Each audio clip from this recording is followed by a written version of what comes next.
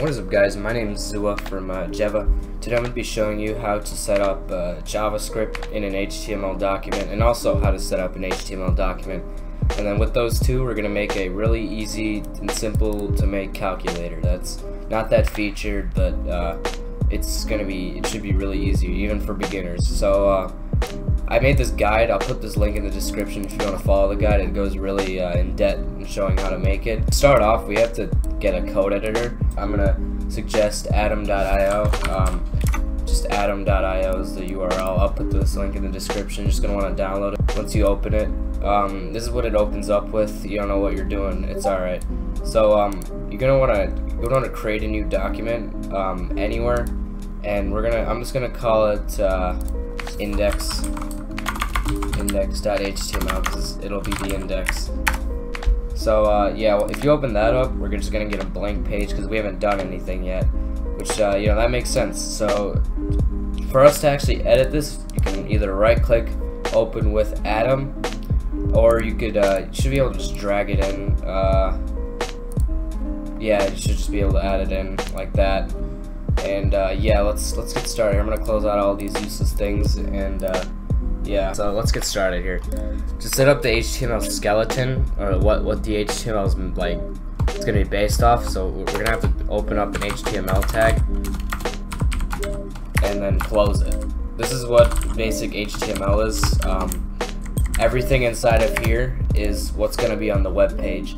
So let's let's make this let's go more in depth with the skeleton and actually create the skeleton. We're to need a head tag where we put the title after and then uh, the the slash uh, we put at the end of a tag. So that's that's that. And then also we're gonna open up a body tag which is everything that you're gonna be able to see and everything you want to put inside uh, like content wise inside of a body tag. That's what you're gonna want to put in a web page. Now let's add a let's add a let's add a title to our uh, to our what's it called? This this this uh, well, let's add a title to this web page. So um, I'm gonna put title and then end it, end the tag. So hopefully you can understand what we're really doing here. The title, I'll show you what it does. Um, title, we're just gonna call it calc or calculator. Actually, yeah, just call it calc. It doesn't really matter. I'm gonna open this up, and uh, you should be able to just open it up anywhere. Oh, oh yeah, there we go. Um, it's called calc. The tab title is called calc. So that's that. Let's add uh, let's let's add input groups, uh, little fields that you can write in or a user can write in. So to do that, we're gonna want to do that in the body tag because that's the most efficient way of writing it. So it's called input. We're gonna make two inputs actually, and I'll show you what that does. Um, go back to here. I'll, I'll just make this really easy for both of us here. Right click. There's there's two things you can write in here and. Uh, yeah, that's how we're gonna fetch the values of the calculator, the two two numbers. So I'm gonna give this, you're gonna need to give this an ID of num1, because that's number one, an ID of, and this is number two. This is for later, I'm gonna show you, we're gonna set up the ID uh, or we're gonna we're gonna fetch these values using the ID in JavaScript once we get down there, but we need to first get the structure ready in HTML, of course. And uh, let's let's let's add some placeholders, and I'll show you what those do. Uh, placeholder, we're just gonna call this number one. I'm gonna copy that, and then call this number two. So as you can see, that's what the placeholder does. It's it's just you know tells you what to write, and then it disappears after you actually start typing in it. Okay, so uh, once we did that, let's create. We're gonna have to create a form. Um, Let's open up a form tag. I'll show you. I'll, I'll show you what that does. So inside of here, um, what's going to be made? Uh, yeah, it's just going to space that out, which that's not what it does. But inside a form tag, you can make uh, like a select. I'll show you what a select is to um, select. We're going to give the select of an ID of operations. And like I said, I'll show you what that's going to look like. To make the select end here. Oops, that was not what I meant to do. I don't even know what I just did. Alright, it's to rewrite that ID. We're to give the select tag an ID of operations because inside of the select tag, we're to we're to make like plus, minus, all the operations. So called operations. To make entries for a dropdown, we're gonna do options. Because we're gonna make the option, um, and then end the option. We're gonna do this four times because there's four math operations, and then inside of the option tag, where you actually can write stuff, I'll show you. Uh, we can have AS, and those are all blank right now. So let's make this plus. I'm gonna make this minus. I'm gonna make this. Uh, I'm yeah multiply and then divide. So oops. So that's that's what that does. We can select those, but right now it doesn't really do anything because it's there's no way you can like uh, there's no way to calculate it. So let's make a calculate button, right? Uh, so let's I'm gonna put that right under everything here.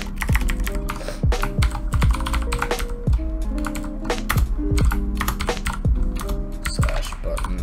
Open and close those tags.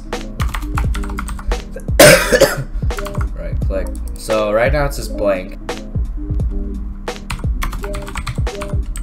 Let's call it calculate and inside you'll see that like calculate. Let's make an output which I'll show you later with the with the tag or with an ID of output. So ID is equal to output because when we fetch those values it's gonna make this paragraph tag and I'll show you what paragraph tags are. There you can write inside of them.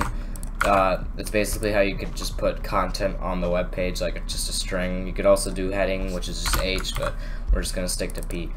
So um, yeah, let's keep that blank because we don't, we can't really see it if it's blank.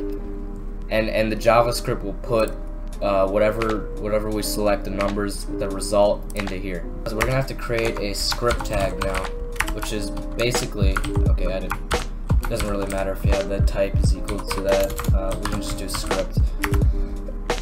I really hate this, but uh.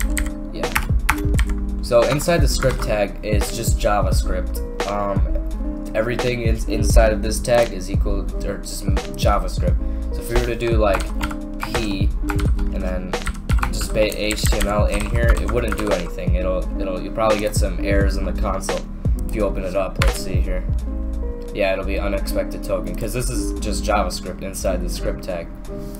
So let's get rid of that. And um, also, let's go back up here and give the button an on-click value. And I'll show you what that is later. Um, so on-click is basically when this button is clicked, it's going to execute something. So we're going to make it execute a function that we're going to create inside the script inside the JavaScript. So let's make this function, actually let's go, let's go in here just so you can understand. Function, um, it's called calc, calculate, and it's going to require no arguments. You're going to want to put like parentheses inside of, uh, or after the string, or not the string, but after what you write as a function after you declared it, and then open, open, open curly brackets and close curly brackets. Uh, we don't need arguments, so just just put those there just like this. That's how you make the calculate function. And uh, on click, let's make this, oops, you, on click, you're just going to want to put copy that and put it in there. To put a semicolon there because it's JavaScript. And th that's what that does. So every time this button is clicked, it's gonna it's going to execute this function. So right now there's nothing in the function, obviously. It's gonna space this out more. Um, let's make uh, let's make this uh, let's make this actually do stuff now. So let's start off the JavaScript. so let's fetch, let's make it fetch these values. So remember when we did id is equal to num1, we're gonna fetch that. We're gonna, this is like an identifier, what id means. So when this is, when this button is clicked, it's gonna fetch this number. Or the ID, it's gonna fetch this tag, what's inside of this tag. So to do that, we're gonna have to, uh, let's create a variable, and this is how variables work in JavaScript. Variable, uh, we're gonna call the variable, so let's call the variable num1. So since we're in an HTML document, uh, we can use things like uh, the document class, which I'll show you how it works. So basically you can just type in document. If you were to use this like maybe in Node.js, you probably would get some errors because there's no document in uh, in an engine-based uh, thing like that.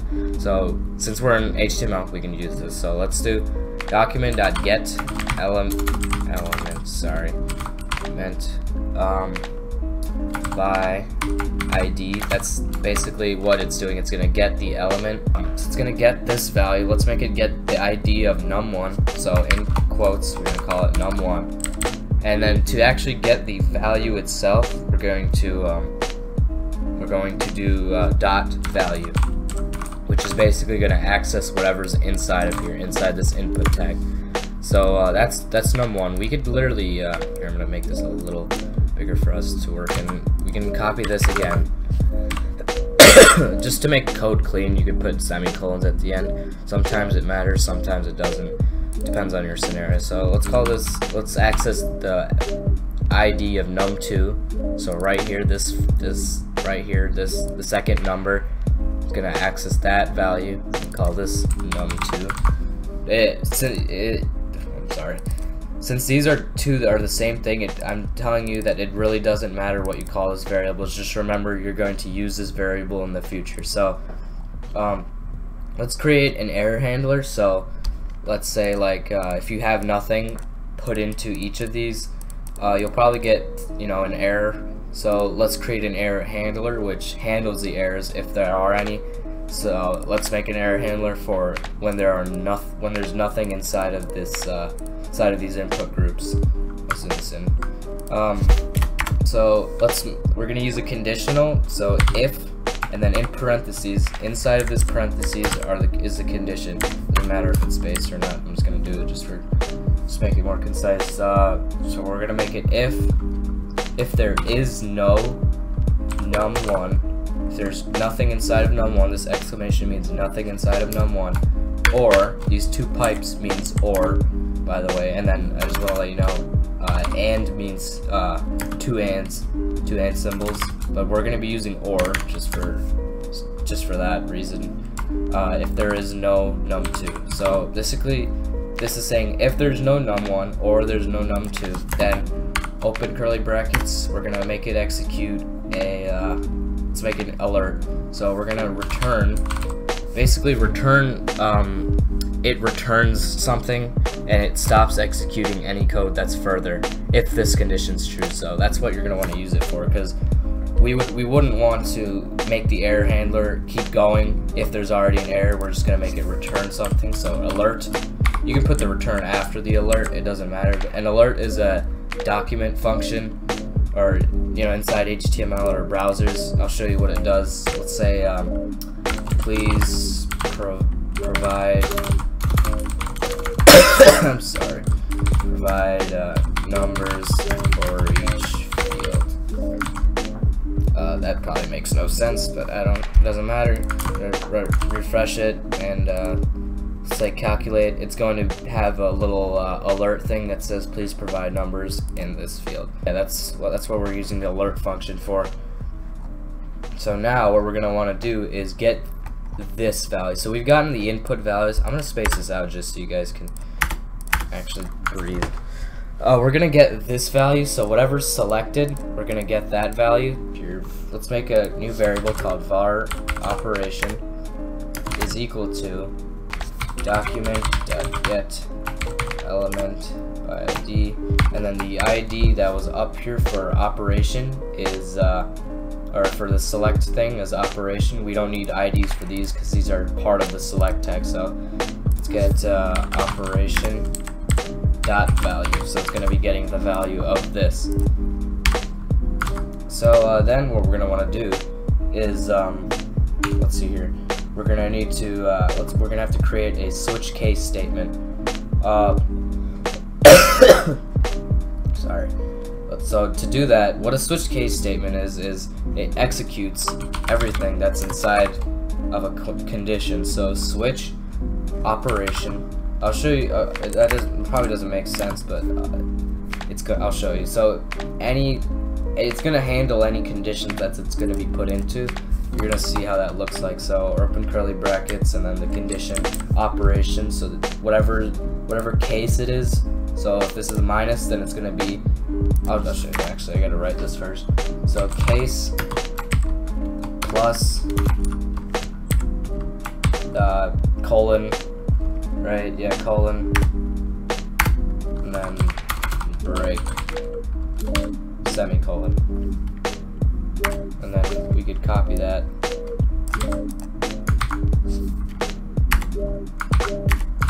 Four times because there's four math operations. We make this subtract, multiply, divide. So anything that's, if let's say the operation, so operation is the value of right here.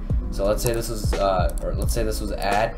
Anything that the case is equal to add, uh, this code right here will be executed. So let's make this code execute something. Excuse me. So let's make it execute. Um. So document document get because right now what we're doing is um, getting this output. So we're gonna put the output and we're gonna make the output like the inner HTML, so whatever's inside of here, equal to the numbers that we added up. So let's do document get element ID output. Okay, that was weird. Inner, and then a dot inner HTML, which I just showed you what that did. Um, it's gonna do what that did. and uh, gonna make that equal to um, gonna put this in parentheses. It doesn't matter right now since we're only doing two out or two numbers, but it just makes the code more concise. So num1, num1 plus num2, which is these two variables. The value of these two is gonna add those together. And uh, just to make sure that these are numbers, we're gonna do parse int. So I'll show you what that does.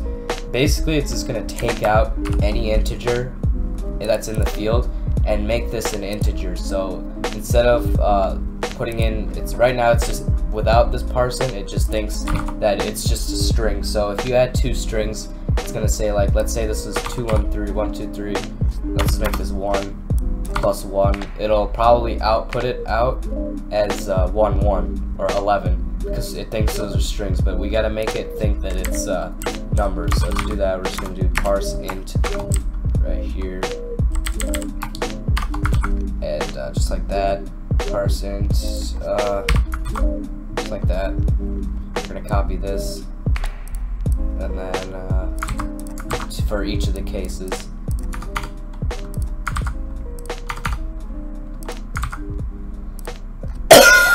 Excuse me. Make this one divide the numbers, since it's this case is divide. Make this one multiply the numbers. Make this one subtract the numbers and uh, yeah let's let's see how that works out. I just realized I spelled uh, switch wrong this whole time. That's probably why it was broken. So let's let's just get that fixed. So now you could probably uh, if you did type it in wrong uh, just fix it. I'm sorry. So I didn't refresh the page. There you go. Those two numbers add up. Um, 23 plus yeah that makes 5 subtract, that's going to make 21. Multiply, that's going to be like 40. Yeah, there you go. That should divide it. And there you go, it does decimals too. So that's how you make the calculator. And uh, hopefully you guys understand how these variables work.